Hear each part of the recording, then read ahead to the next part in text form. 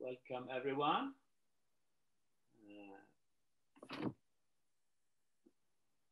welcome, everyone. Uh, I hope I don't see myself, but I hope it works. Uh, my name is Magnus Melander, and uh, I'm the co-founder of Things, the deep tech hub in Stockholm.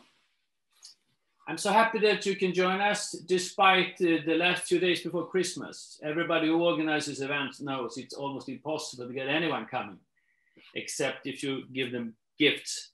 So we will give you a little gift today by a number of great presentations, a great entertainment and uh, an interesting hour or so with us.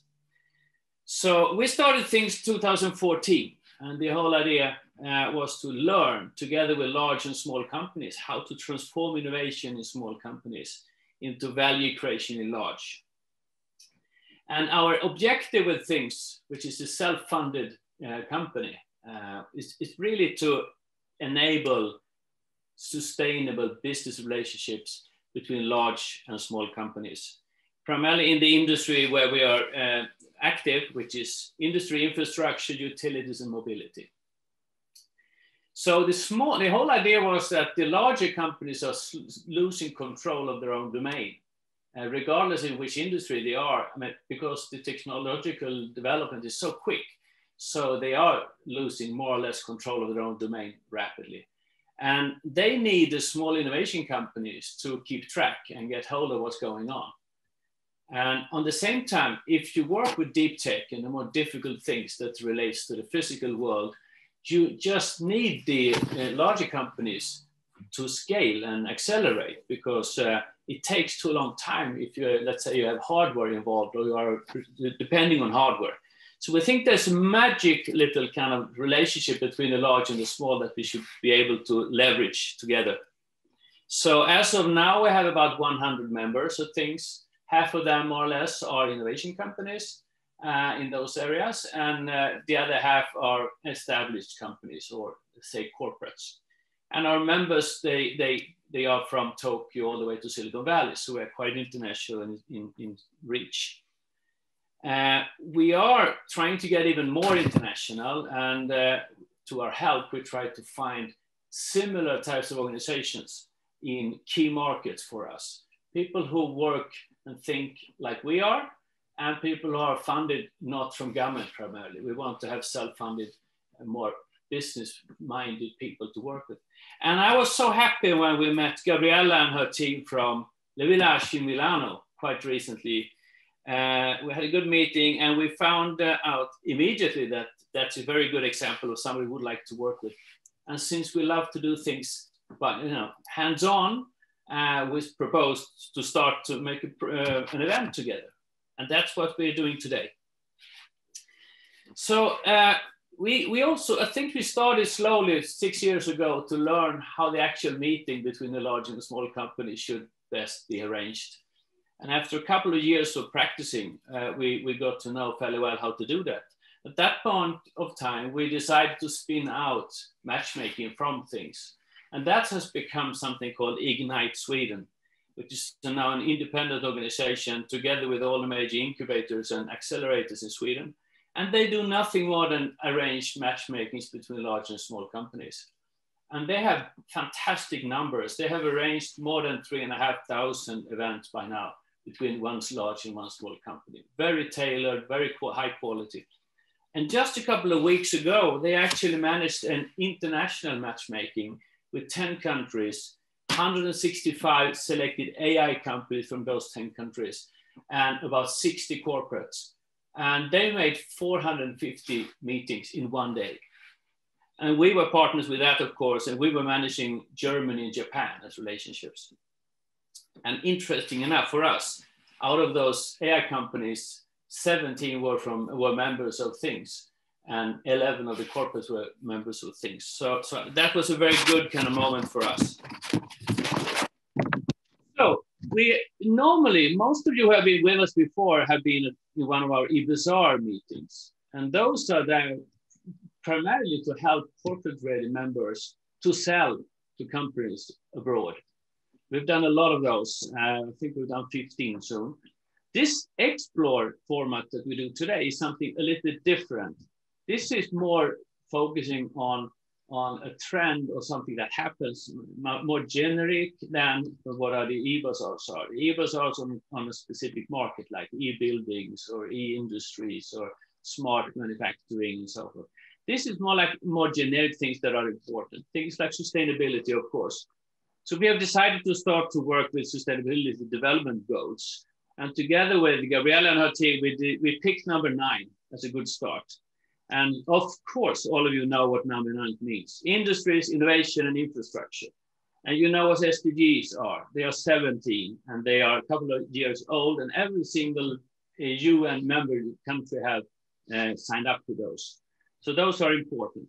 We wanted to make those a little bit more tangible by bringing in entrepreneurs who are active in those specific areas and who can help and share what they actually do and how they how it works, how far they have come, and more and more most importantly what they've learned. Because sharing what you've learned is the best way of making the whole thing work in the end of the day. So we have 52 guys signed up for today from six countries, which is great. And I hope you all will enjoy this a lot. So just finally, the way this will work, I will moderate this and uh, you all try to mute and close your videos because there are a lot of people who can create noise. After the event, you will get an email uh, with all the, the contact data and, and all the references to, to uh, what we have talked about and so on. So you don't have to make a lot of notes. You can contact people afterwards. Uh, after each uh, presentation, they will be short and energetic. Uh, there will hopefully be time for some interaction and uh, questions. And I would like you to use the chat uh, in Zoom to, to send questions to me during the speeches. And I try to make as many of them responded to. And if we have unresponded questions afterwards, we'll bring answers to them to the post mail that we sent out. Uh, I will introduce the speaker. They speak for eight minutes, maybe 10. And so there should be actually a couple of minutes for questions. We're going to stop in time. That's very important because we all know that you have to buy Christmas present or whatever you have to do this afternoon. And we record the event, just you know. So on our YouTube channel, you can go back and look at the juicy parts if you like. And it's also good for the speakers to remember that what you say here doesn't stay here. You know, it goes everywhere. So I hope you sit comfortably now and are ready to be inspired because our first speaker is my new friend Gabriela Scapiccio. She's the mayor, or I'm called, it's called Sindaco, is that right? The yes. mayor of Le Village by uh, Crédit Agricole Milano. So welcome, Gabriella. are you there? Thank you, Magnus, and good afternoon, everybody. My name is Gabriela and I am the CEO of Le Village in Milan and welcome in our Innovation Hub.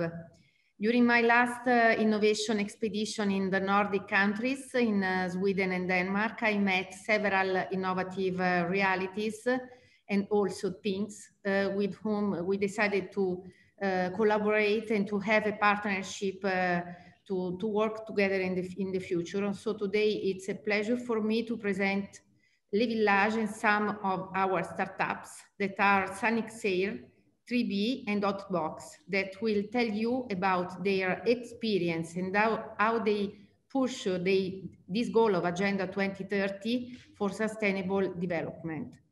Uh, what is Le Village? Crédit Agricole decided in 2014 to open an innovation hub in Paris and uh, with, with, the, with the aim to innovate the group with the contamination of startups, but also to increase the innovation and the entrepreneurship in the, in the territory.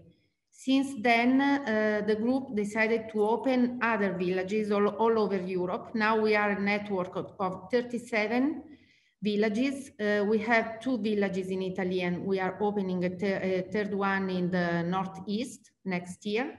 So we have now resident 800 uh, startups more than 600 partner corporate and uh, uh, 200 uh, startups alumni.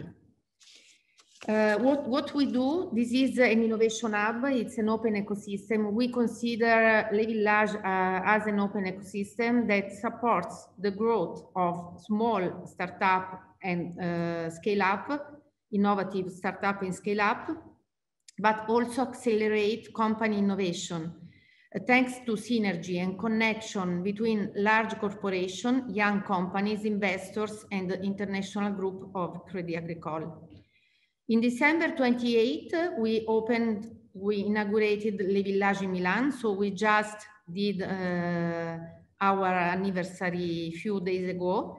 Uh, today we have 50 startup residents here and 14 partners corporate. Le Village operates mainly on seven vertical topics that are some related to our excellence in Italy, like fashion, food, and uh, design, and some are uh, like fintech or future mobility or uh, pharma that are, yes, related to territory, but also to the group. But one that is the one of the main topic we develop here is, is the sustainability. So uh, we work cross all over the seven vertical topics with uh, helping uh, sus sustainable startups and company or sustainable projects.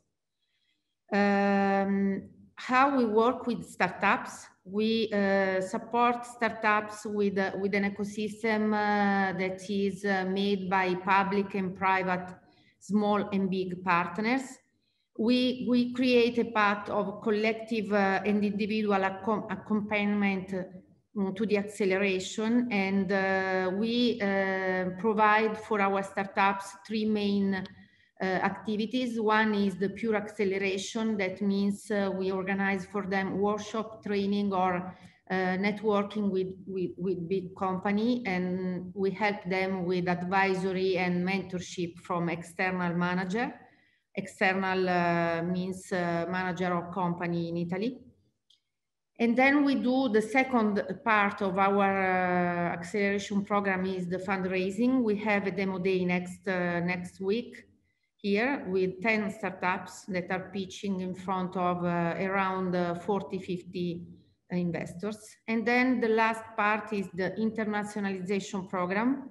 So we provide, we help our startup to develop their business abroad, thanks to our village network in Europe, but also thanks to our in our uh, investment bank hub that are all over the world in United States, in South America, in Japan, and, and all over the five continents.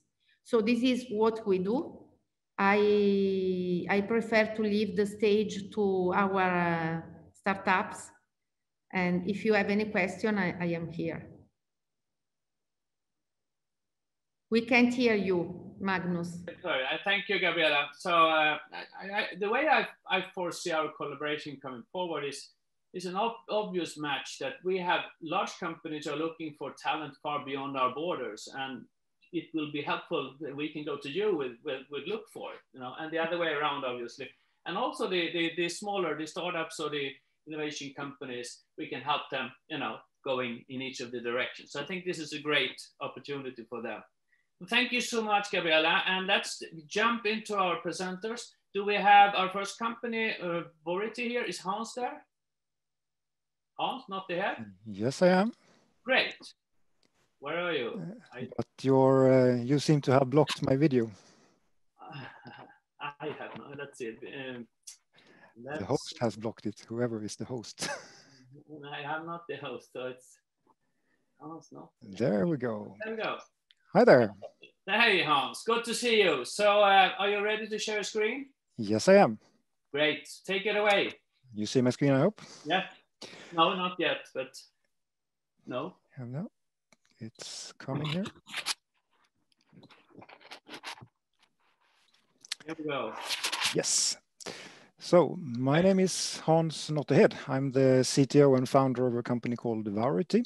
And uh, today I'll be happy to share some uh, findings and experiences from um, what we call self-service sales and delivery. So a, a way to make uh, or enable companies to sell services with, and products without human interaction. So we are a software as a service platform for uh, self-service payments and sales. So basically selling things without having uh, people present. Um, what we see is that the world is constantly changing. Uh, every decade and every year, some things change, and it's very evident that this year has has been quite a lot of change with the COVID-19 situation. And this constant change is a challenge for companies in many ways, um, having to do heavy investments and trying uh, ways to make money and even to survive which is kind of difficult to do when the world is changing.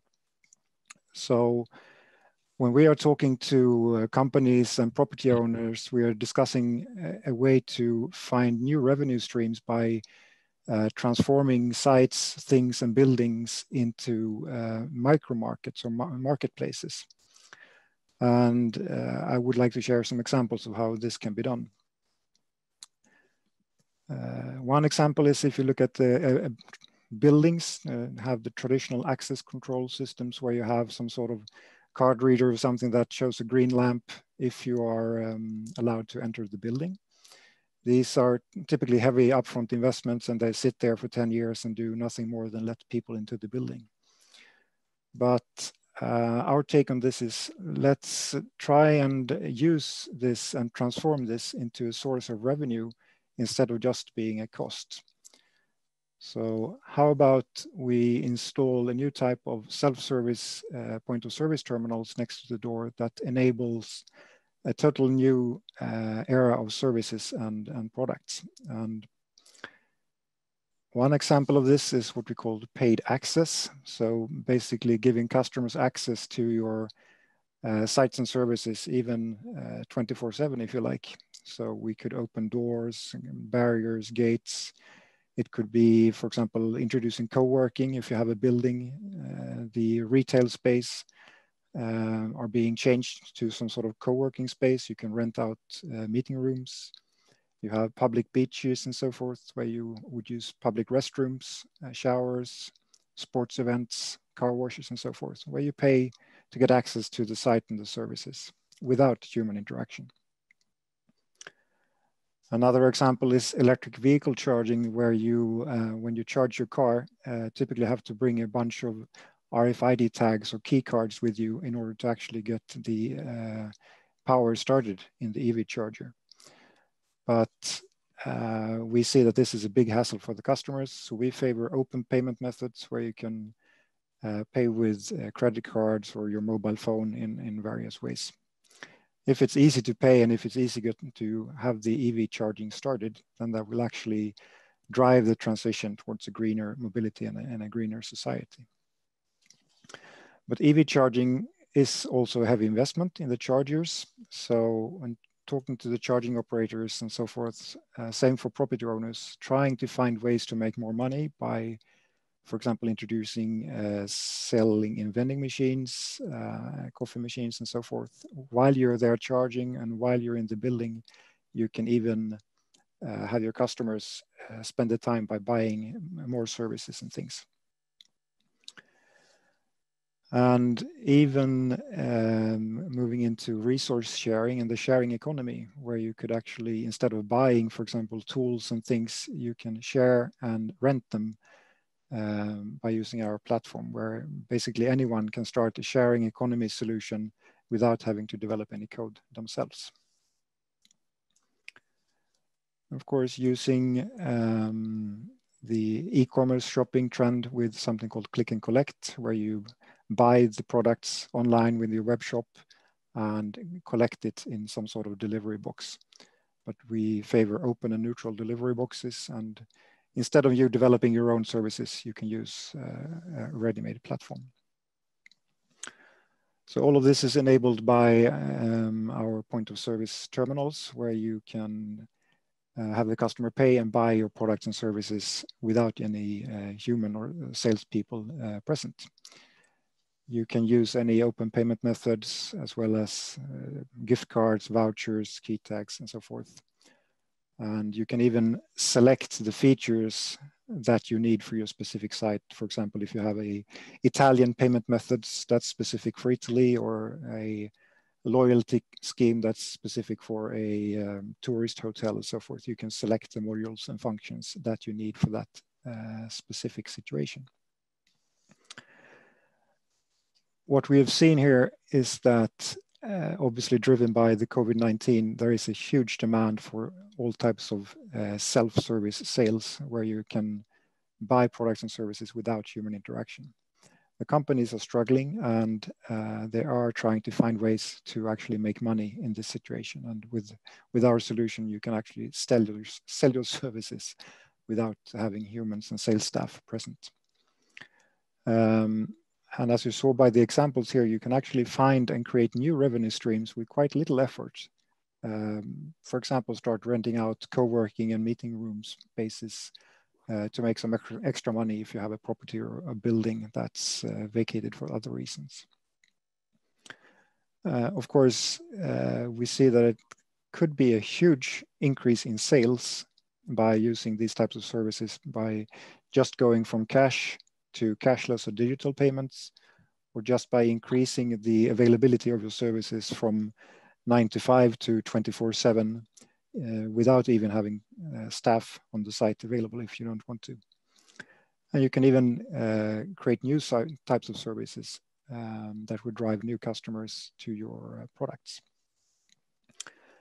So some of the learnings that we have seen here is quite interesting is that I might be sticking out my head here, but saying apps are dead. So, and in that sense, I say that at least single-use apps uh, are dead. So here in the Nordics, people are very hesitant to downloading a new app that is uh, specific to one specific service. People don't have the time or the need to register for a new app to start using uh, services. So the barrier to actually downloading and using a new app is quite high. So um, in our case, we favor uh, open payment methods that you have already existing. Could be credit cards with Visa, MasterCard, uh, or various mobile type um, uh, of payment methods. These are services that the customer already have, but they will certainly not uh, download a new app just to get access to your specific single-use type of uh, situation. Um, obviously, in addition to supporting SDG 9 as we do today, um, we are also supporting a few other sustainability development goals uh, with our platform.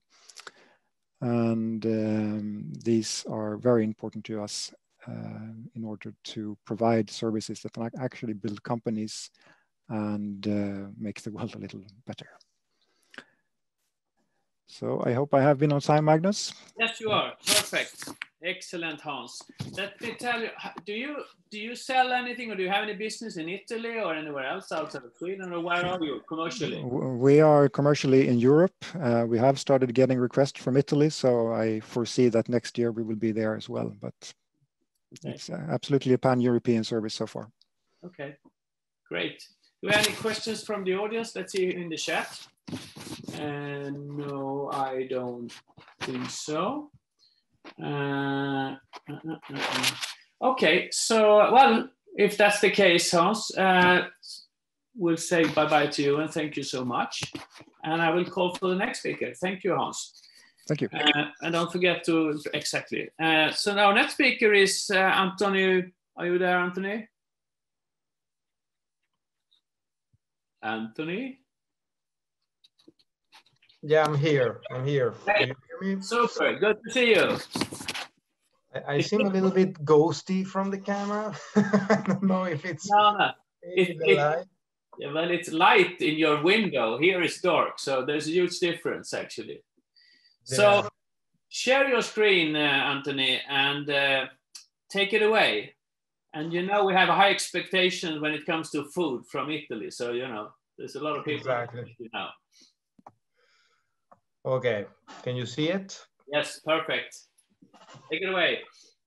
Okay, one second. Let me just see. Okay, here. Now we are here. Great.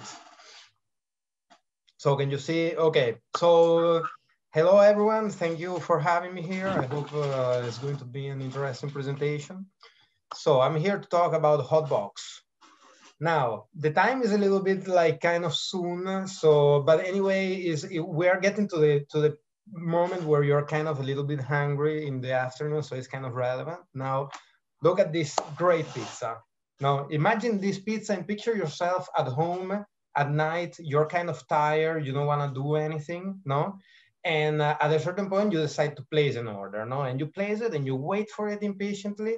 And finally, when it reaches you, this is what you get ah, not exactly what you were waiting for, no? Like kind of a cold and soggy and not very nice looking pizza. And, you know, like this kind of happened to me a lot of times, no? Eh, so, so I, I, I thought, okay, maybe I am unlucky. So I, I actually asked my friends and they told me the same story.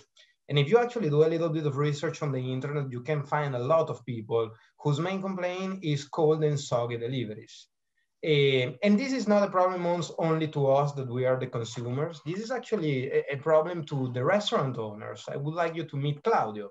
Claudio is a pizza is a pizza owner, is a pizza maker in, in Modena, a city in Italy. Uh, his pizza place uh, does previous than COVID because now, of course, is almost 100% of his revenue in doing deliveries. And, and this is an increasing trend, no? Because of course, COVID has boosted the delivery of restaurants because restaurants, at least in Italy, are closed at the moment and they can only do deliveries. But it was an increasing trend also before. And to do deliveries are actually expensive, no? So he spends, he spent about 15% to do 50% of his revenues doing deliveries, no? So now he's probably spending around 25% because most of his revenue comes from doing deliveries. And yet 50% of these complaints he got was because his delicious pizza arrived at his customers cold and soggy. And even worse, some customers never call, never complain, but they never come back and they talk bad about his business. So I am Anthony, I am the CEO of Hotbox and I am very proud to show you Hotbox. So what we did is that we developed a professional oven, a professional industrial oven that, that is portable, so you can mount it on different kinds of vehicles that will allow you to transport food from the restaurant to the people's tables, uh, keeping the quality of the food intact as it was supposed to be in the restaurant. It is built with best-in-class materials, so we have used uh, stainless steel inside, the same plastic of the bumpers of your cars outside. It has an, insulation part uh, in the inside to keep the warm uh, and it has an active system thanks to a battery that allows it to be turned on for up to five hours at 85 degrees constant. And you can set it between 65 and 85. And this is a range because above 85, you keep cooking food and this is not our purpose. Our purpose is to maintain food constant uh, at the same quality as in the restaurant uh, below 65 degrees, you should not be allowed to do food delivery, every, even though everybody is doing it, because you're outside of the parameters of the HACCP rules for food hazards. And in fact, below 65 degrees, you have bacteria growth. Uh, and that, that's why also you shouldn't do it. Uh, but most importantly, it has an air circulation system inside that actually transports the steam that comes out from the food into a real and proper dehumidification dehumidificator, I'm sorry, that will extract this steam uh, with droplets that goes outside. Uh, the, the, end result is that you can eat for uh, even uh, farther than 40 to 50 minutes after you put the stuff inside Hotbox, food as if you were in the restaurant. And because you can uh, transport food for more than 40 minutes, Hotbox became a technology enabler, meaning that with Hotbox, you can do multiple deliveries on a single trip because the quality of the last delivery is the same of the quality of the first delivery. And this is something that is not possible to do today because if you transport food on a normal uh, on normal thermal bag, like in the back of your head of, of your back, like on the bicycle, it, like if you put two deliveries on a single trip, even if they are close to each other, already the first delivery is at suboptimal conditions, but the second delivery is definitely not eatable anymore. So thanks to this, we can say bye-bye to hot, to, to cold and soggy pizza. No, we can we can welcome hot and crunchy or fragrant pizza at our doorstep. And because of the multi-stack delivery, we can optimize route uh, delivery routes and save money. So if we go back to Claudio, he'll have happier customers, of course. He'll get reviews based on his product and not on bad deliveries. And this is amazingly important Like a study from Harvard uh, Business Review shows that one star, one star less on uh, on on your um, on your grading channels can mean up to 10% of revenue less. And with our experience, and because we have several clients, Eh, especially in Italy, we have realized that it is probably even more. So if you lose one star, you can even pretend to lose even more than 10% of your revenues. And because of multi-stack deliveries, he can actually save up to 3,000 euros per year, which is not bad because he can actually pay his hot boxes by doing it. So I talked about pizza because pizza is the most common food that is delivered almost all over the world, to be honest. But pizza is only one third of the food delivery market. Uh, there is there is a lot of other food, like I don't know, French fries, hamburgers, pasta, uh, Chinese food, fried chicken, and whatever you can come in mind. And, and with COVID, also mid to high end restaurants are actually starting to do some kind of, uh, of concept delivery uh, solutions. Uh, so we will see a lot of very interesting things that we can actually order at home uh, because of this COVID fueled uh, the delivery business. And Hotbox is just great for all of them. It's especially powerful to steam sensible food, like for example, everything that is fried or everything that has to do with dough or French fries, especially, and, and hamburgers. But it is also very good for pasta and uh, Chinese food and all of the such. Uh, we have a, we, we are actually a product as a service company meaning that uh, basically uh, you don't buy our product, but you enter into a subscription-based business model. Uh, you pay 250 euros as a, as a deposit. Uh, and then we ship the hot box to you and you pay installments that starts from 59.90. This is also very cool because first of all, it allows us to increase the long-term value of the company because you have a lock-in effect on our, on our customers.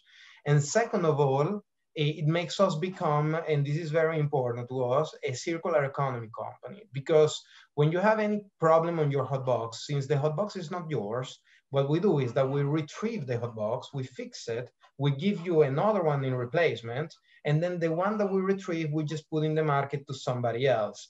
So basically, we, we, we can actually reutilize everything that we produce several times. We have two versions. One is mostly for mopeds. Let's say that somebody has mounted two of them on a car, but why? And uh, or a cargo bicycles. The other one is a cargo version and is for for for cars. So uh, today we are on the market. We Hotbox. We have all we have had customers all around Italy. Uh, as you can see, here are some pictures of somebody that is using it, or some of our clients.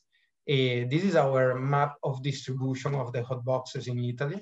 We are more or less at 150 customers at the moment, uh, but constantly increasing. And of course, this year, even though it has been a tough year, personally speaking, because everybody is locked at home, from a, a from a company perspective, it has been very nice.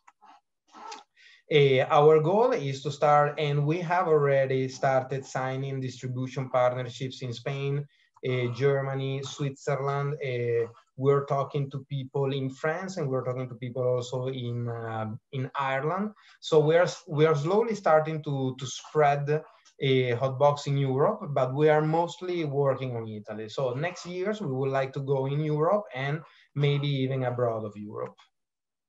The market is huge because just so you think in these selected areas, there is about 4 million restaurants.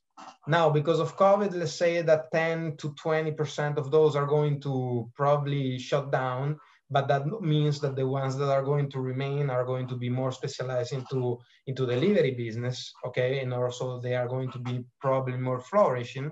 But nevertheless, Two and a half percent of this market for Hotbox would represent a revenue opportunity of 108 million. So market is just uh, is not an issue. Our plan is to actually sell and distribute uh, and rent 25,000 units by the end of 2025. Uh, we would like to have a basically 20% uh, sold and 80% rented. Of course, rent is uh, also a interesting way of breaking entry barriers, you know, because you don't have to put up front so much money. You just have to put 59, 90 euros to use a professional device that is drastically increasing the, the way your food arrive at your customers. So that's very interesting. Also, I don't want to spend too much time here, but we to, to actually do this expansion, we are seeking to raise 2 million euros. So if you are maybe interested in investing in the future of food delivery, I am here. I can actually answer your questions.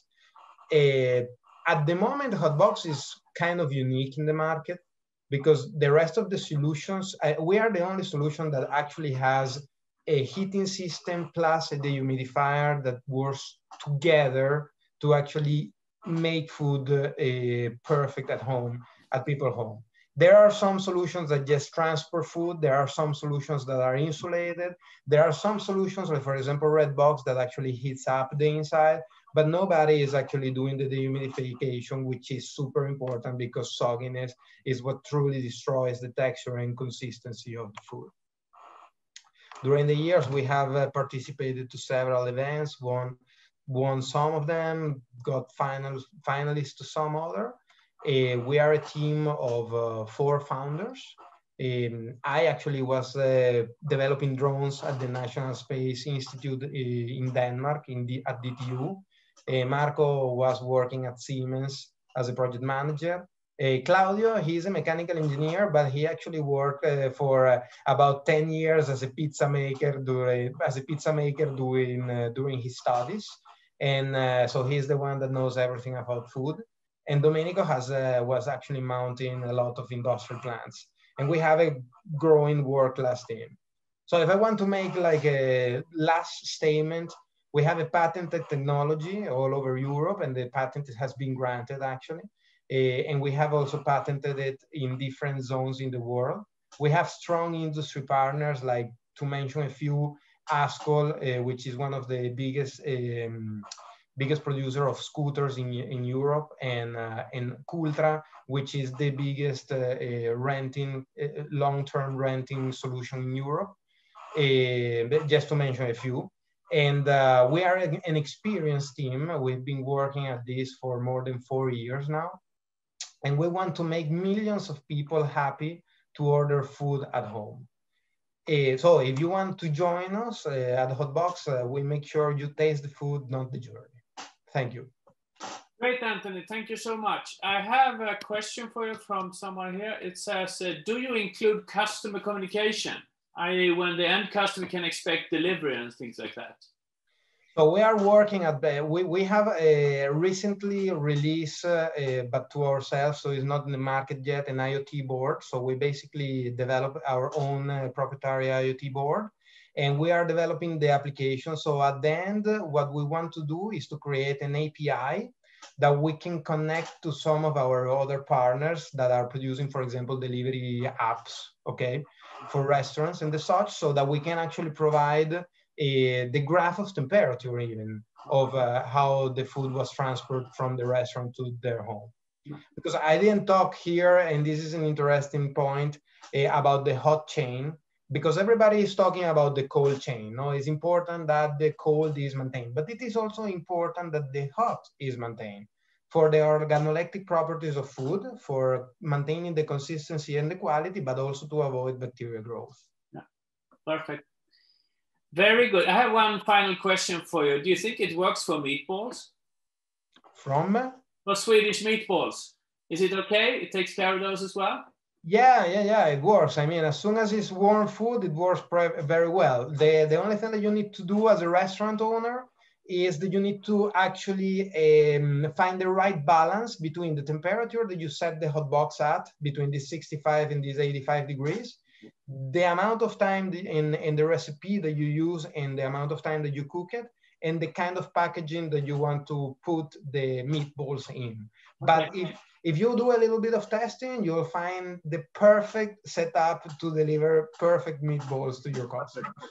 It's a home run in Sweden. Thank you so much, Anthony. We have to move forward. So please unshare your screen and we sure. changed the order a little bit now, so I will have I will ask uh, Francesco Uh, Bye. Bye to everyone. uh, Francesco, are you there? Can you jump in now?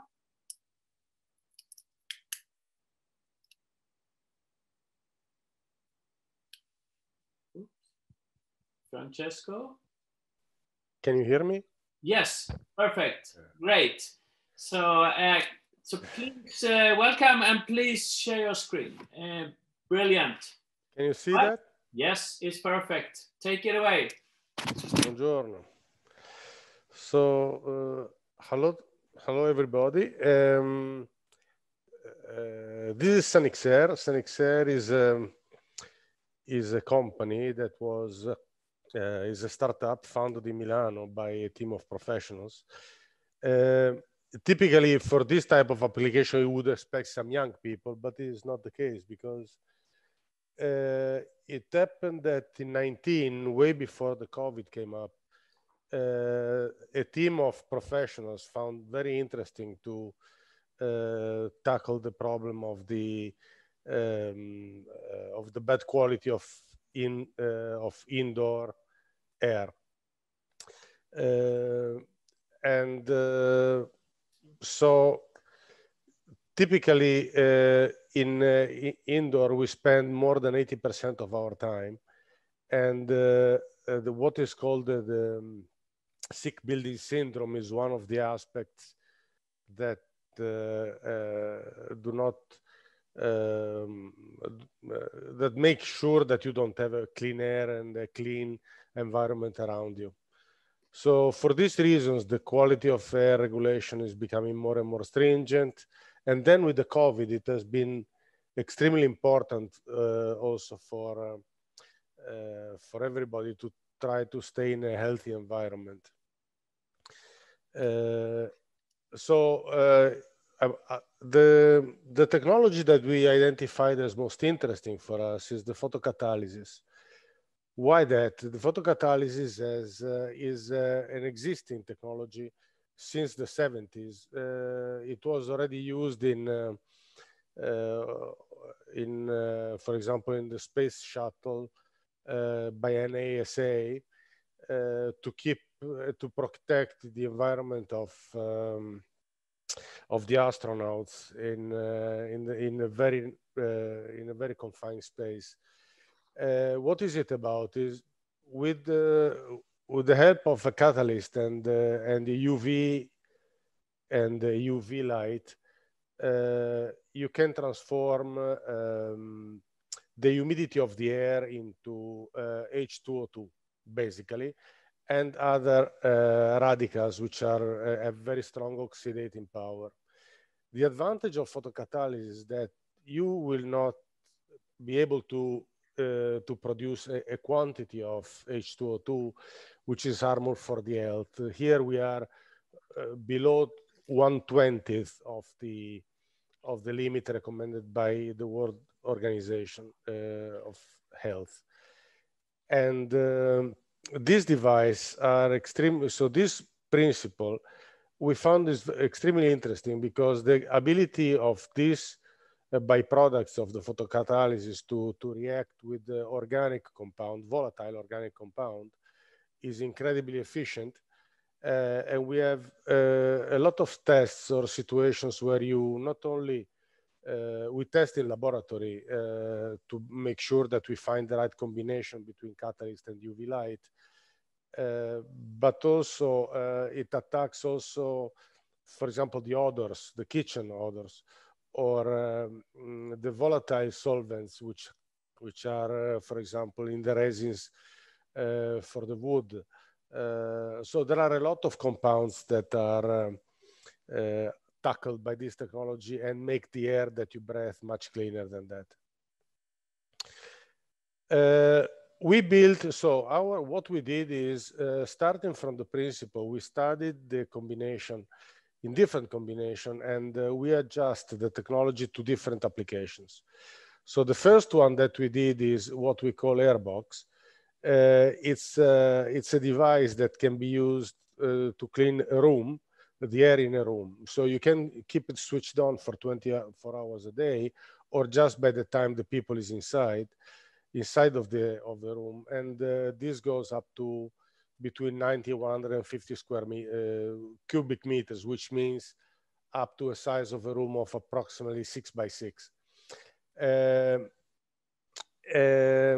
what is interesting of this technology is that not only it tackles virus and bacteria, but also uh, formaldehyde. Uh, it it helps destroying the PM1 to 2.5 and 10, and uh, um, you can reduce also microparticles in the air, the smoke of the cigarette, for example.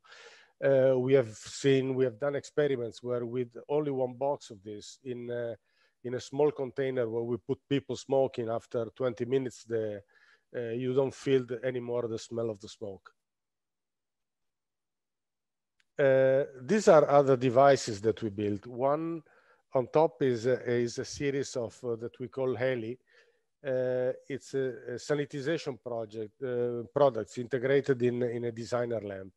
So this is a lamp that has uh, the feature of uh, uh, with the fan and and the photocatalytic, photocatalytic uh, devices to clean the air during the day in a design object. So it's and this is the first one that we did the second one is the BreathMe, is another technology that we uh, also we understood it can it has a very good appeal, uh, not for the coronavirus or or the or bacteria, but more in the um, protection of the uh, through the emission of negative ions. You have an important protection to the your uh, breath system, and um, and the quality of the air. Uh, for example, uh, it helps a lot against allergy. We have many people that uh, tried this device for allergy and they found incredible benefits very shortly. Uh, one of the most interesting studies we made is uh, how to clean the air in a car. And the first project we made uh, was with a car sharing company. And we uh, as you see, uh, we put um, we created a small device in aluminum that can be put simply under under the chair of the passenger and uh, can be plugged in also in uh, in in the simple in the electrical 12 or 24 volt um, feeder. Uh, still you, uh, there is also a fan a small fan inside and we have made a lot of tests of this because the the car sharing company uh, was really uh, interested in having very fast results uh, when it was time to move the, the rental from one passenger to another.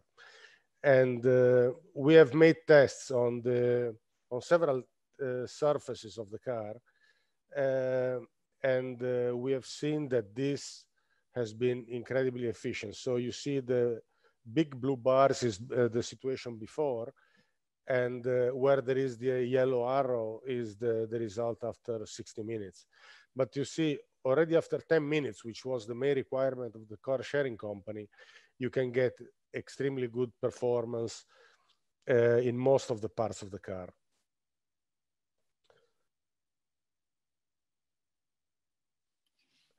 Uh, around this, uh, we, we also produced other different devices besides the Heli, the Airbox, and the BreathMe, which is the one which is a wearable device, we have also designed uh, what we call GAP, which is GAP is, is a device that you can put in the main uh, HVAC systems in, in a building. So you can sanitize the air before it, it's in, uh, before inlet into the environment.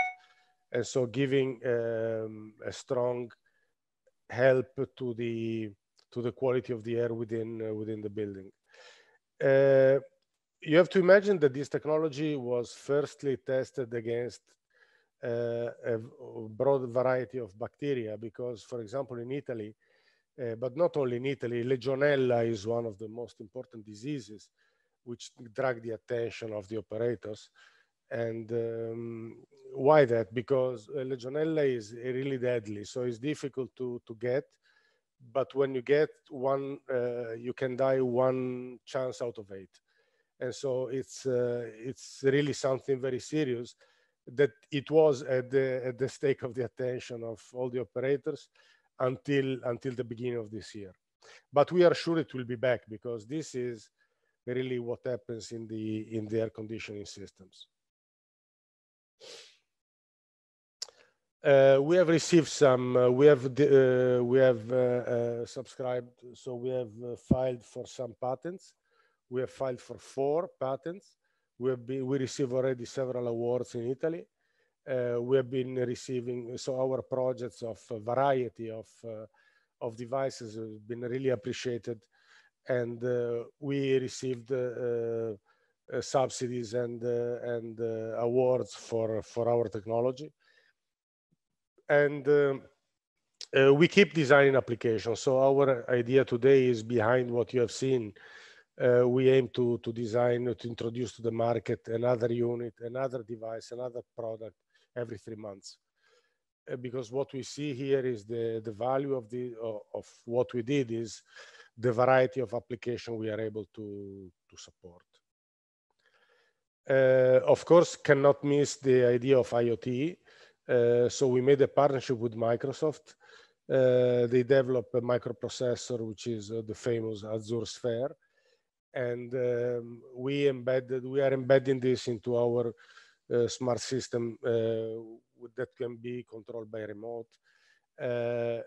also because in many, you have to imagine that in many situations, if you have to do an hotel, for example, you need to be able to control what's working, what's not working in the different rooms. And so it's very important that uh, you are able to provide uh, uh, information in real time to, to the manager of, of, the, of the building. Uh, why we selected Microsoft Azure is because data protection is at stake. And um, uh, we have been convinced by the fact that this is the best uh, technology available today for data protection uh, you have to imagine that given the fact that there is a COVID sensitive information, name associated to, to context or to, to the rooms, etc. So it's very important that we keep the information, uh, the information safe.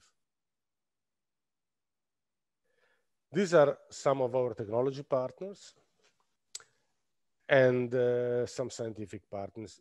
Scientific partners are all the companies that helped us in developing uh, the microbiological tests to make sure that the devices that we are using are, are, um, are performing efficiently. So I took the liberty to make it quick. So if you have any Q&A, any Q, I can give you an A. Yeah, perfect. Thank you so much, Francesco. That's great. Really interesting and very timely when it, you know when we talk about COVID and everything. Everybody's into this area now. There is a question for you specifically. Who is your typical customer? Uh, uh, there was yeah. Uh, hold on. Is this mainly for homes or offices, public spaces? And would this protect against spread of COVID? Obviously. Okay. Uh, Allora, uh, two things I have to say in, to this question. The first one, we have already 11 different applications in uh, mall, shopping malls, hotels, restaurants, also famous restaurants or famous uh, hotel. Uh, we have been awarded of a couple of projects at the Hilton. Uh, we have been awarded by Cannavacciuolo, which is a famous chef in Italy. Uh, and we have uh, really several applications that makes us happy. Uh, about tests on COVID, uh, you cannot do a real test straight on the COVID because nobody gives you the COVID available, no? because it's very dangerous. But what we did is uh, there are, uh, in microbiology, there are different type of coronaviruses that you can use which are less harmful. Or for example, you use viruses like adenovirus, which is uh, um, way more resistant to UV than it is the COVID. And so you, you try to extrapolate the performance through tests on different different micro germs. I, ha I have another question for you. So, yes. do you provide the end customers with any sort of reports telling them how much better the air is after install your product, rather than just having to assume it's better? No, what we do in in most of our applications, in most of our customers, uh, we recommend the customer to do a test before and test after. So we enter into the room. Uh, we in the last installation that we made in uh, in a large facility in Roma, we made 240 tests. So which are swabs, swabs on the tables, on lamps, on and we made before and after and then we make the comparison before and after to make sure that the customer is convinced about the performance. Yeah, yeah. Perfect. I think we uh, no. There is one more question here. Please. Have there been any independent tests that confirm the results that you present when it comes to eliminating viruses and bacteria, and is tested against SARS-CoV-2? So all the tests that we do are not done by us, but by independent laboratories, certified and accredited. So we don't do, uh, so you cannot claim you are good. No, basically. So you need someone else to assess that. And so this is why all the technology partners that I've shown uh, are the laboratories that are accredited, are, are serious companies, and uh, uh, are the ones that are better equipped to do the test quickly also because sometimes you, you, you need speed also. Francesco, time is running out. I'm sure you will be contacted afterwards because there have been a lot Pleasure. of interest in this area. And thank you so much for your for presentation. Great. And don't forget to unshare your screen, please, because we have a new speaker coming up. Is uh, Paul, are you ready now? Uh, is it still shared? No, it's not. You're right. Okay. So I'm okay? Yeah, you are. Thank you so much. Thanks. Uh, Paul. Hi. Hi, Paul. Here we go. Yeah. Are you ready now? Absolutely. Um, thanks everyone for attending. I hope you will enjoy um, the presentation. Share your screen. So, yes. Is it fine? Yes, but uh, you have the presentation mode as well. Yes. Here we go. Perfect. Yes. Take nice. it away. So our company, uh, I'm Paul Mallol, the CEO um, of Inkonova. Our company has been focusing for several years on developing uh, robotics, uh, more particularly drones for underground and tunnels, underground mining and tunnels um, uh, laser scanning. Um, drones, aerial solutions, more particularly can uh, can access areas where uh, not only line of sight but beyond line of sight, areas where um, um, no people can get in, or the traditional methods give suboptimal results or partial results in the laser scanning, for example. So I'm gonna. This will have direct. Um, uh, these type of technologies have a direct impact. Sorry. Ah, ok. Senti una cosa. Yeah. So um, perfect. Yeah, these uh, type of technologies uh, have a direct impact in uh, optimizing, uh, in in this case, for example, underground uh, operations in mining and other also other bifurcated, bifurcated uh, use cases and markets. But let's focus on on on this for now. Um, and it's a cost-efficient uh, way of gathering information, complete information, which is actually one of the keywords as well, uh, because you can get really into areas where other sensors or methods cannot uh, achieve uh, access. So aerial surveys in general, in any case, are uh, usually safer. Uh, you can get farther and closer to areas of interest and faster. Uh, particularly uh, in these cases, we don't need, uh, uh this type of technologies do not need the infrastructure, existing infrastructure. Um, all the communications happens between the, the drone and the or ground station. But if there is Wi-Fi or 5G in the, uh, in the areas um, where the operator usually stays, the data can also be transmitted to control places. It can be integrated more seamlessly, seamlessly in, uh, in uh, mining systems.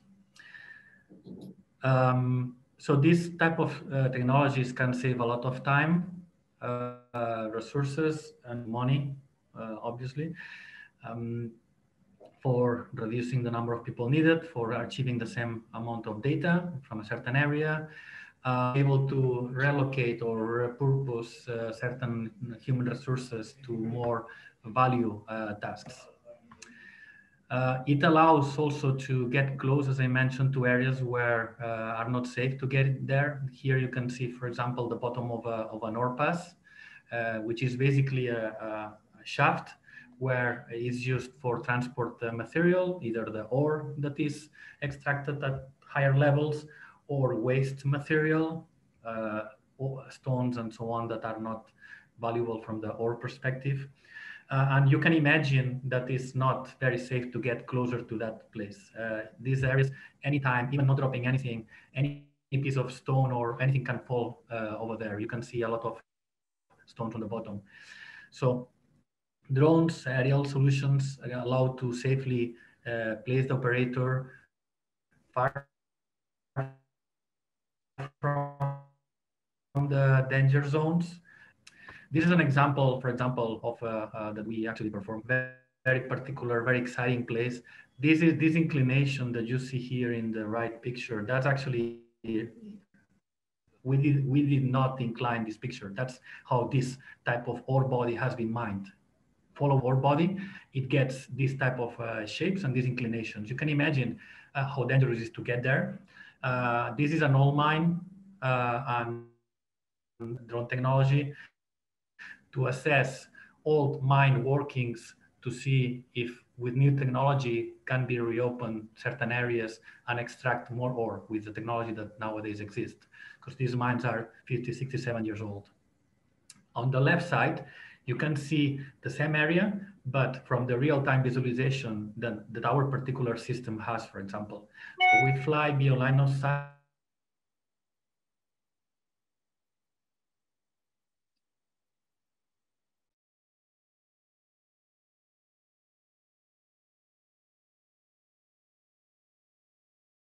sorry. Let's see if I can. Oh. Traditional methods uh, can be, uh, for example, the same laser uh, scanner uh, on, a, on, on the tip of a pole or a, or a crane, and then you put it as inside as possible and you map what you can, right? So you can see in this picture, uh, and this is very common, that there are blind spots. Also, the farther the, the laser, the, the farther the areas are, the the laser beams are more separated, so you get less resolution in the point cloud that you get. So with drones, as shown in the bottom picture, you can see that uh, we one can actually bring the scanner wherever um, other methods are not suitable for, and get a map of the of the area. On the right hand side, you can see um, to the model of the same models of the same picture of the same area, uh, one with the traditional method, and below after flying a drone there. More particularly, a very, a very interesting case and, and um, is our ore passes. As I mentioned before, ore passes or waste passes are shafts from two to three meters to five traditionally diameter, and they can have 100, 200 meter uh, length, very, very, very long in many cases. These are passes, uh, they are inclinated at high angle, 70, 80 degrees, and these are actually a very cost efficient way of transporting uh, ore. So in every level, as you can see in the in the scheme on the left, you can see the pink and the blue um, um, uh, sketches or areas. These are the drivable uh, areas where machines are extracting material. And then they go to the green, the green uh, sections in the picture and they dump the material to the bottom levels. And then from the bottom levels, the, all the ore pass is extracted outside the mine. So um, that saves a lot of fuel, that saves a lot of time. Gravity is a big help here. So ore passes are the heart of the of the any underground mine operation, uh, and you have to make them to to uh, maintain them properly. Um, the problem with ore passes is that, as you can expect, uh, throwing tons and tons of ore and stones and so on over time, the walls get damaged, they get pockets and so on. So this is very, this can or even get blocked uh, if there are collapses.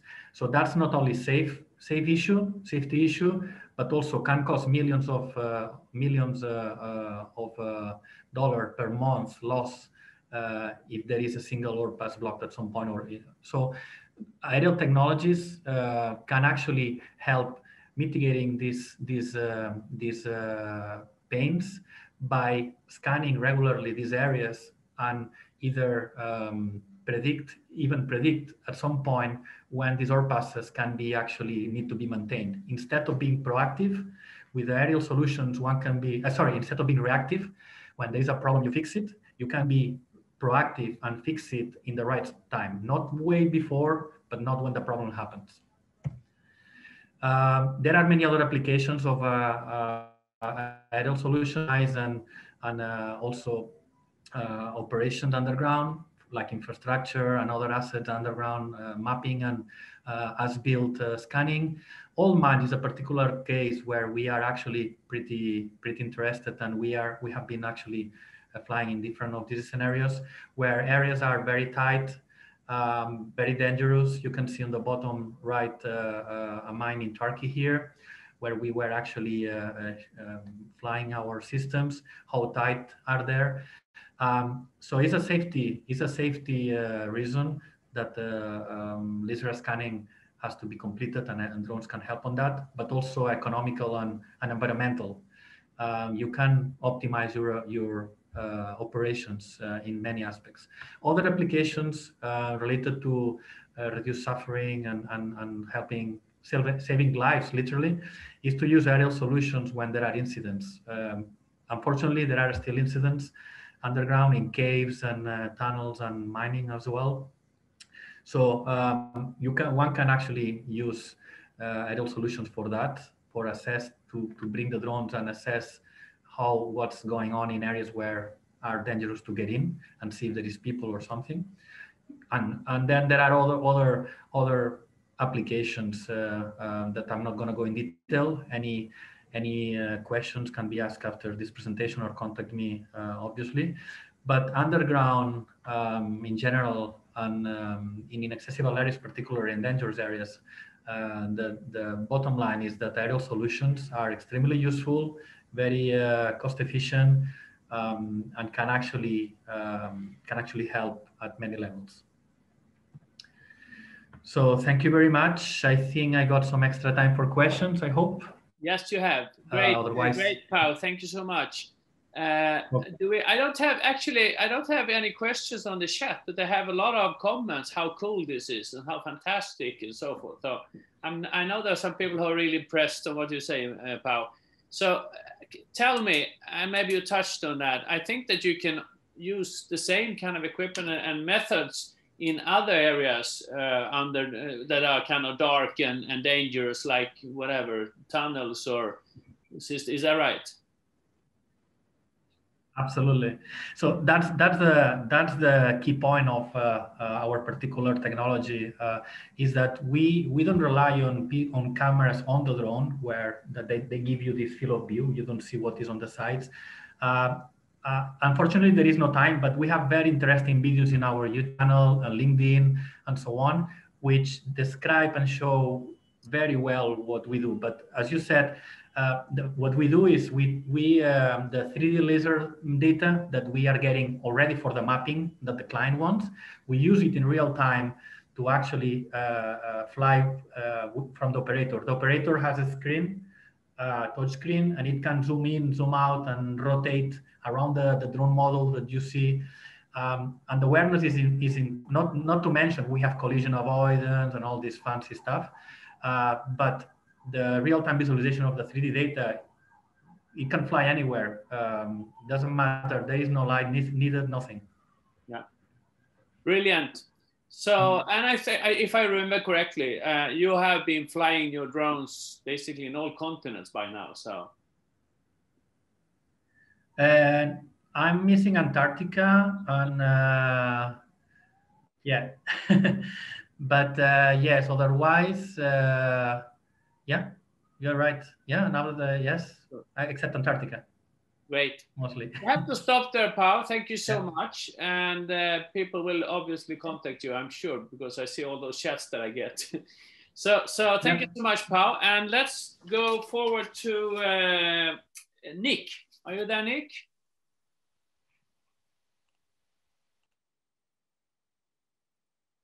Nick, calling on Nick Amelin.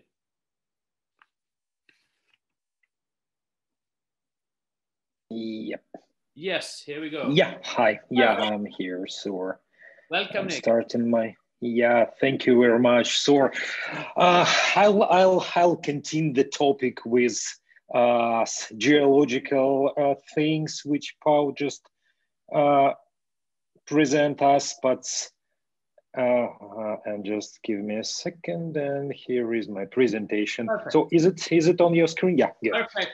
good, good, good, good. Play. Yeah, so uh, this is this is as I said about the uh, geology about this Earth, uh, but I'm going to talk uh, not uh, about onshore things, but things which is uh, going uh, on a deep ocean, or s- somewhere in the middle of. Um, world, uh, world ocean. So uh, float size basically, so it's uh, technology uh, to acquire data uh, and uh, recover the structure of uh, subsurface of the of the of the ocean. So our companies had a pretty pretty big experience under our belt. Uh, we primarily do the research exploration for different con- con- companies for different uh, countries uh, and uh, gather experience and understanding what the limitation, physical limitation, practical operational limitations of existing technologies and experience of marine exploration. Uh, so a few years ago, we decided uh, to kind of consolidate our uh, understanding and uh, develop our own technology and uh, equipment to do this data acquisition s- uh, at the, at the marine, marine data acquisitions. So uh, we put, I could say, three key uh, requirements to new technology. First one is to make it cost effective. Uh, to be uh, competitive with uh, conventional one. Second thing is uh, to make it as low carbon footprint as it's possible for for for that uh, type of activity. And uh, third thing is to uh, minimize involvement to uh, of uh, people in uh, so open sea or so water to to to minimize to minimize risk of um, any let's say it's incidents and fatalities so this is three things which we put into there into the system so it's it's it's quite specific things. Or i briefly illustrate or why do we need uh, the data from from that far? I could say where no one basically uh, lives. So uh, there is uh, several applications of that type of data uh, seismic and acoustic data. So first one is uh, geohazards so we know that uh, tsunami uh, appears uh, and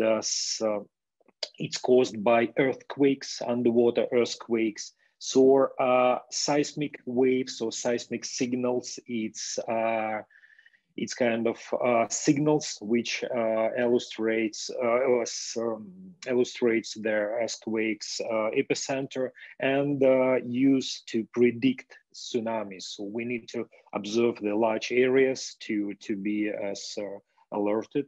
So it's uh, natural resource and uh, resource exploration offshore. We know oil and gas, but there is uh, others. Uh, um, uh, s- metals uh, so on the sea floor uh, the sea surface and uh, and so on. So basically, seismic data uh, for offshore exploration is the core uh, uh, information source of information to estimate and assess uh, for perspective. So uh, companies who do explore, exploring for oil and gas, they uh, assess perspective before they invest uh, basically hundreds of million dollars towards uh, to the area and the only uh, input is seismic seismic seismic data seismic information shows them what is uh, uh, earth structure on the on the sea, sea surface. So it's it's uh, have an uh, ecological application. It's uh, underwater noise pollution. So it's things which not directly connected to the to us as a human, as we never uh, hear uh, what is going on underwater. But uh, this type of pollution uh, heavily affects all, to all um, marine marine uh, animals because this is the uh, way of communication for them and any strong noise te uh, noise uh, really disturb their uh, feeding ha habits or reproduction habits and force them to uh, to leave areas or we we unintentionally produce a lot of underwater noise by uh, construction by uh, ship traffic or some uh, radars and all the things or so uh, uh, controlling acoustic and seismic data is a way to see how much artificial sound exposure we produce in, in the area. So uh, defense, uh, uh, I'm not talking about this military stuff. I'm basically talking about control some areas of uh, unmarked uh, surface uh, traffic or subsurface traffic. It could be some smugglers and some, or uh, bo uh, illegal boats, or it could be uh, debris or another big application of such things is, um, let's call it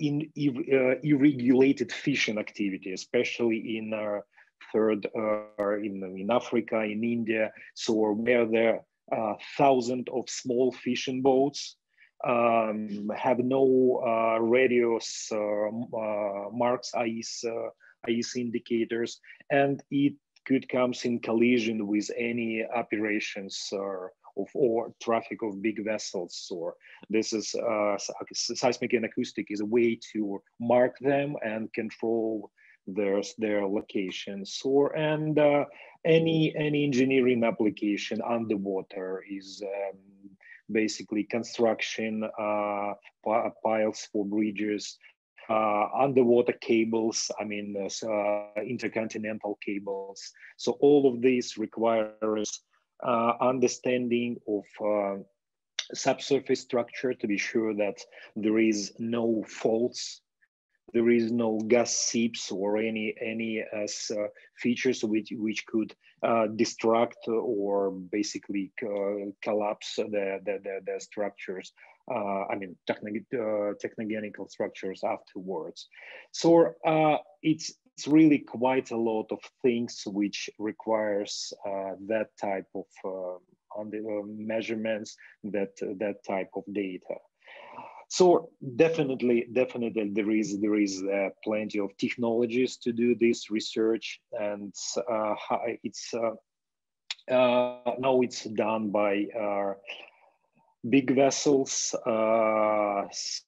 quite often by by several vessels uh, and basically to bring the simple sensors, it, it requires 50, 70 uh, people uh, crew for a few months to be offshore, uh, to do uh, a lot of uh, operations on board, to deploy and recover so it's uh, the, the, the, the, normal uh, equipment, set of equipment costs um, 30, 50 million dollars. So, and it's uh, consists of uh, huge amount of sensors, which is towed by one vessel or few vessels to, to, to scan the, uh, the, the area.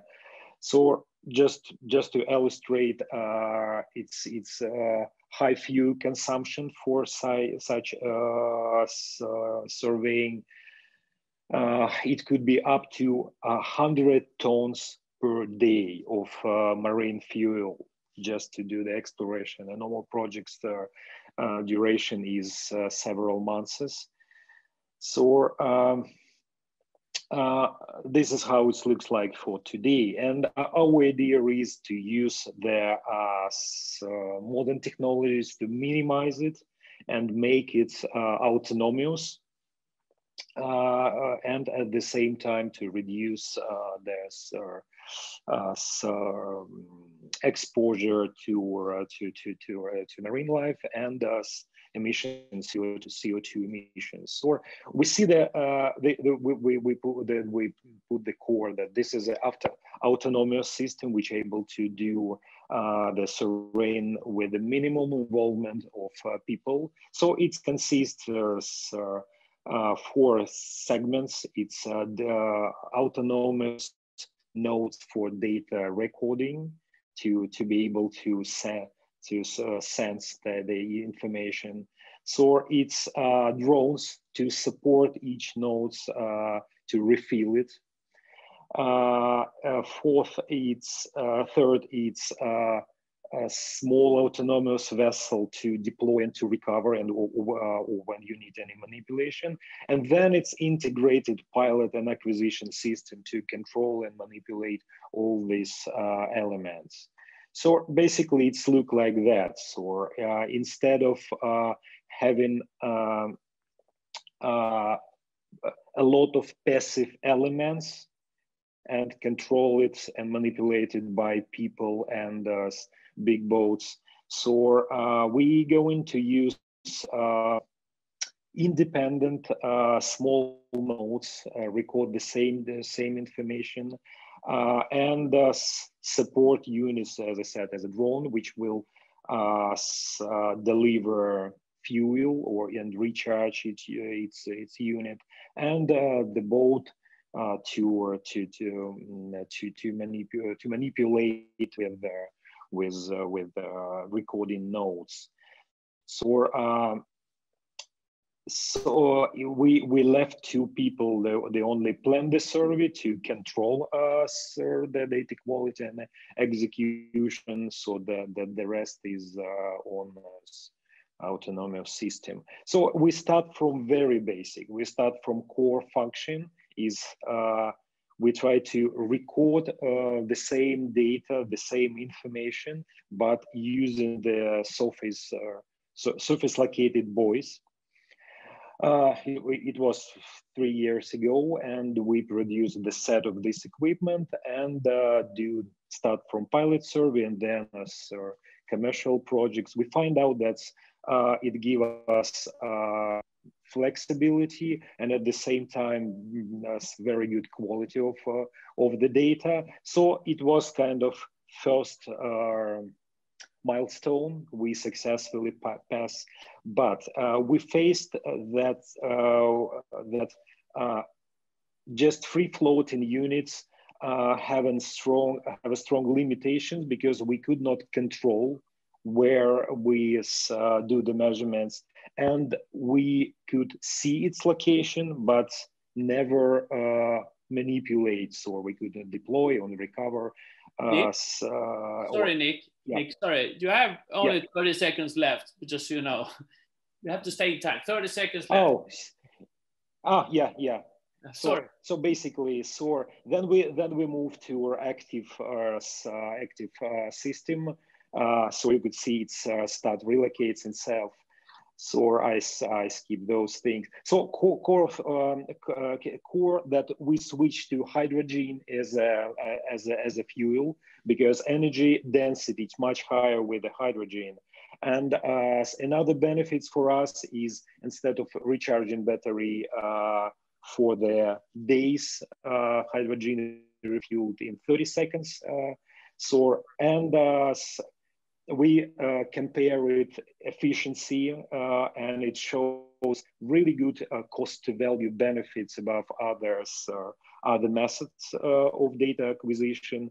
So uh, it's not just as technical or ecological benefits, it's purely commercial. So uh, on that stage, we are uh, uh uh, early clients uh, oil companies or exploration companies, and at the same time, uh, technical partners uh, to join the, the, the, the, the project. Yeah, thanks. That's, that's it. Great. Thank you, Nay. I'm sorry that to, to rush you because this is very interesting. And there are a lot of people who will contact you afterwards. I see that in the chat. So thank you so much. Uh, we don't have time for any questions now. We have to jump to our last speaker. And I, I unfortunately will be a couple of minutes late. So I hope you can excuse us for that. So our next speaker is uh, Nico. Where are uh, it's uh, yeah, Nicolo. Nicolo. Hi, hi, nice to meet you. Hi, hi. Good to see you. Thank you. So I'm sharing my screen. Hope no, you. In, oh, there we go. Perfect. And and do it in presentation mode, please. Perfect. Thank you so much. Okay. Thank you. Um, everybody, I'm excited to be here. Um, I am Niccolò Calandri, CEO of 3Bee. Um, and today we are speaking about uh, biodiversity, uh, mainly about pollination. So we are talking about uh, number two of uh, SDGs, so no hunger. Um, I want to start with a number. I'm also trying to be in time because uh, we, I know that we are in late. Um, and I will start with a number, 80%. 80% is the importance of the bees in the food supply chain. Um, bees pollinate the 80% of all the crops, vegetables all around the world. Not only in Italy, not only in Europe, I'm talking about all the world. Bees are the main pollinators. There is also a number that always uh, remember the, the problem of the bees and is the 30%. Last year, we lose the 30% of the bees uh, in Europe. So 30% of the hive, 30% of the beehive, 30% of the bees. We are talking about million, billion of bees. And uh, of course, we reduce the honey production, but we are not talking about honey. Honey is not the problem. Honey is not the, the key point here. We're talking about biodiversity. We are losing crops yield. Without bees and due to this problem, we are losing the 60% now, not tomorrow, now, we are losing the 60% of the crops yield. Farmers are facing this problem and are trying to pollinate using drones, using other people instead of bees, like like China us. Um, but this is not a sustainable future. That's why 3Bee was born. We merge uh, electronics and biology. I have a PhD in electronics, and Ricardo, um, the co-founder of 3Bee, has a PhD in biology and also is a strong professional beekeeper. So what we do is uh, that we, we merge electronics, my skill, and the ability of Ricardo in understand the sound of the bees. We provide uh, an electronic device, this is a tiny chip, that is able to communicate with bees. It's a very small device. It can be installed in any possible hive, beehive all over the world. It, it, it is able to collect different biomarker from uh, humidity, temperature, and sound. And uh, thanks to this biomarker, we send this on the cloud, this is an IoT device. We use uh, some machine learning algorithms just to be fair, very simple and basic uh, machine learning algorithms for a PhD, uh, for a PhD student. And thanks to these uh, algorithms, we are able to provide a service to the beekeeper, a decision support service. That is our secret sauce, let's say. We are able to, thanks to this service, to, to decrease the mortality rate. We already demonstrated uh, decreasing down to the 20%, decrease the chemical compound in order to provide an ethical agriculture, in this case, an ethical beekeepers, beekeeping. We also are able to decrease the operation cost. Beekeepers are far away in the field they use helicopters in Italy to move, for example. Yes, it's true. They fly with helicopters, with bees on the helicopters. Imagine that. Um, and um, thanks to our device, it's possible to reduce this, uh, this operation cost down to the 60%. Overall, we are able to increase the productivity. But mainly, the key point, and I want to stress out, we are able to increase the production of honey. And as I explained, it's not a matter of honey. The honey is the result of the biodiversity. So we are increasing the biodiversity production. Um, last year, we installed, in the last two years, sorry, we installed more than 2,000 devices, more or less, mainly in Italy, as you can see, but we are spreading all over the world. We start also a social, a social study in, um, in Africa. Italian beekeepers are teaching African beekeeper with our technology, using uh, this remote working technology. So they understand the bees in Africa and try to uh, teach the, the operation. Uh, thanks to our 2000 device, we increased the crops yield, so the crops production up to the 30%. And uh, this is a, a, marketing opportunity. Of course, we are increasing the biodiversity, but also we are creating a new, uh, we are creating a new market, um, the market of the pollination. Next year, the 2021, will be the first year when we release the first trading application for pollination. The name is Pollinator. We want to release a trading platform. In one end, you have beekeepers and bees. In the other, you have the farmers. And we match the needs of the farmers with the ability of the beekeeper to pollinate. Uh, we ask one cent for every, bee, every bees that we save and we provide to the farmers. In this, in this industry, we are the only one right now, except for uh, the monopoly of Bayer and Corteva. So we start, we want to democratize the pollination sector, trying to destroy the monopoly of Bayer and Corteva. Quite easy, simple to say. Um, let's conclude. Our goal in the next uh, in the next five year, in relation to the Green Deal, let's talk about uh, KPI now, is to increase the economical value for the beekeeper, we are talking about uh, uh 6,000 euro per beekeeper per year, increasing the pollinators, so the pollination efficiency, so the biodiversity, increasing the fruit and vegetable production thanks to our superpower bees, up to two, 2 million tons of production, increase the economical value for farmers. We want to improve the value chain from the bees to the farmers. Of course, we start into people. Now we are we have a team of 15. Alone is uh, almost impossible to to accomplish uh, accomplish this mission. Um, and uh, summarizing, what we are looking, what we are trying to do is to let the bees pollinate. Thank you so much. Wonderful. Thank you so much, Niccolò. Uh, let's say I have a question for you before. Uh, I understand that farmers will benefit due to better or more crops, but should this be government funded? It affects us all. Shouldn't this be government funded? It affects us all. Do you get any fund from government or is this primarily privately paid?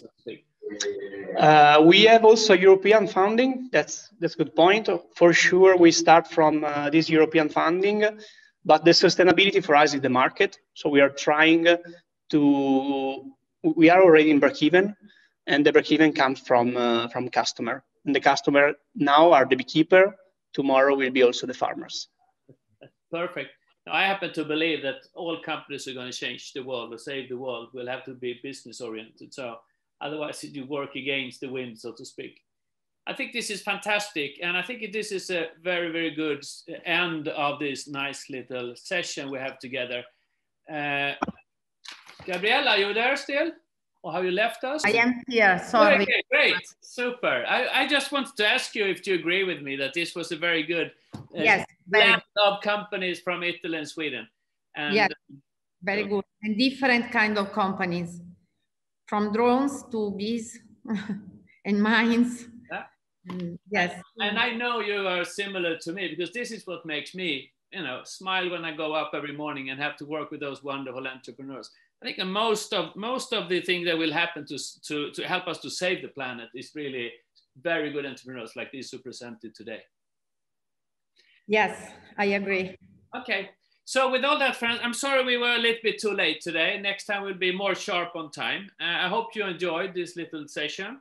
And I really, really ask you to provide some feedback when you receive the post-event uh, email. You can either drop me an email or, or answer the little survey we make because we're going to try to make more of those explore events and, and uh, with Gabrielle and her team and others. Uh, so we need to know what's wrong and what's bad and so forth. So thank you so much and mm. enjoy the rest of the day. And, you know, I hope you get some honey for Christmas. Thank, thank you. Bye-bye. Ciao.